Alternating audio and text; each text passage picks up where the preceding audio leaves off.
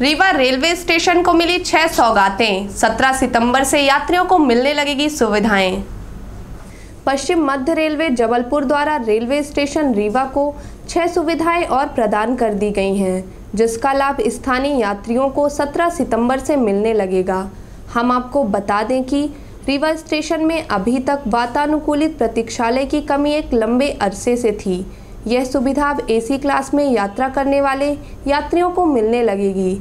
इसी प्रकार Rewa railway station में अति विशिष्ट व्यक्तियों के रुकने और बैठने की सुविधा अब तक नहीं उपलब्ध थी, जो अब यहाँ उपलब्ध हो जाएगी। रीवा स्टेशन में यह मांग बहुप्रतीक्षित थी, जो अब पूरी होने जा रही है। यहाँ हम बताना चाहेंगे कि 16 सितंबर को इन सौगातों का उद्घाटन जबलपुर मंडल के अधिकारियों की मौजूदगी में उद्योग एवं खनिज मंत्री राजेंद्र शुक्ल ने किया।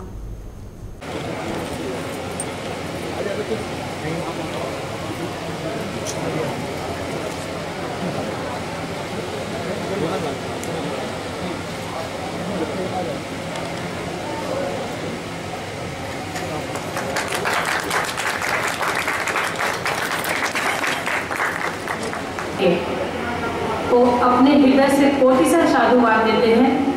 कि आपने अपनी सक्रियता के साथ आपने पूरी जद्दोजहद के करने के बाद प्रदेश स्तर पे और केंद्र स्तर पे रीवा रेलवे स्टेशन को इन कई सुविधाओं से संपन्न करा रहे हैं और हमारे रीवावासियों को इसका भरपूर लाभ मिलेगा।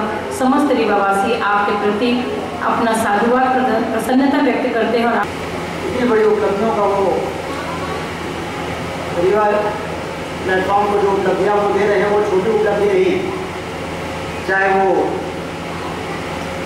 विशिष्ट अतिथि कक्ष हो, चाहे वो वॉशेबल एप्रन हो, या डाइनिंग रूम हो, रिजर्वेशन की जो इलेक्ट्रॉनिक डिस्प्ले वाला बोर्ड हो, ये सारी चीज़ें हम लोग बड़े बड़े स्टेशनों में देखते थे तो लगता था कि रीवा को ये सब सुविधाएँ कम मिलेंगी।